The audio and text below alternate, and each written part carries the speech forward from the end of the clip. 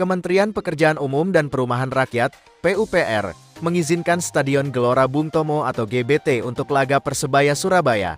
Rencananya, ada dua laga bajul ijo yang akan berlangsung dalam waktu dekat sebagai laga pramusim Liga 1.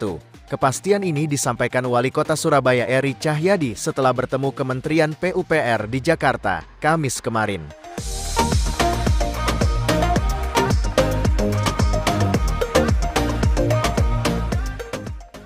Setelah penggunaannya diizinkan, supporter Persebaya Bonek Mania pun bisa mendukung tim kesayangannya di stadion ini.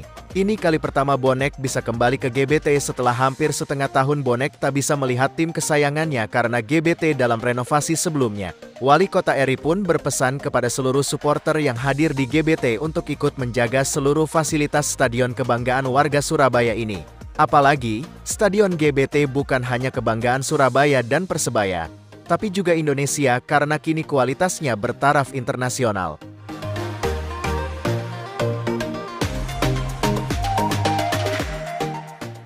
Di sisi lain, Direktur Prasarana Strategis Dirjen Cipta Karya Kementerian PUPR, Esi Asia mendukung Pemkot Surabaya dan Persebaya dalam penggunaan Stadion GBT. Senada dengan wali kota, pihaknya juga berpesan agar Pemkot dan Persebaya dapat menjaga dan memelihara dengan baik Stadion GBT. Apalagi, GBT yang kini telah bertaraf internasional juga bisa digunakan untuk laga timnas. Selamat bertanding sukses untuk semua pemain sepak bola Indonesia, pesan Esi.